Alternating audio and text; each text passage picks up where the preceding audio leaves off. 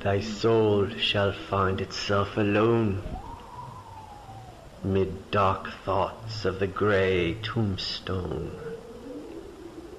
Not one of all the crowd to pry into thine hour of secrecy. Be silent in that solitude which is not loneliness, for then the spirits of the dead who stood in life before thee are again, in death around thee, and their will shall overshadow thee. Be still. The night, though clear, shall frown, and the stars shall look not down from their high thrones in the heaven, with light like hope to mortals given. But their red orbs without beam to thy weariness shall seem as a burning and a fever which would cling to thee forever.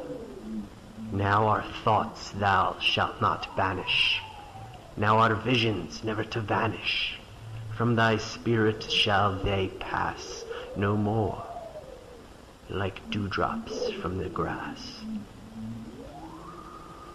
The breeze, the breath of God is still, and in the mist upon the hill, shadowy, shadowy yet unbroken, is a symbol and a token how it hangs upon the trees, a mystery of mysteries.